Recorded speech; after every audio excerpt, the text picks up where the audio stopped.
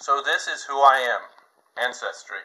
I am England, Wales, and Northern Europe, 36%.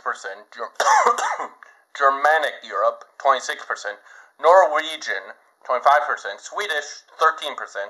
Specifically, Southern Sweden, Central Sweden, and Germs and whatever that says. Um, and settlers mainly in Rhode Island and eastern Massachusetts and New England and eastern Great Lakes settlers. That's just, this is just who I am.